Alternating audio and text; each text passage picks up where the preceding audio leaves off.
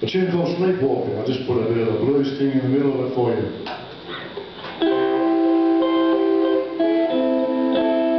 thank you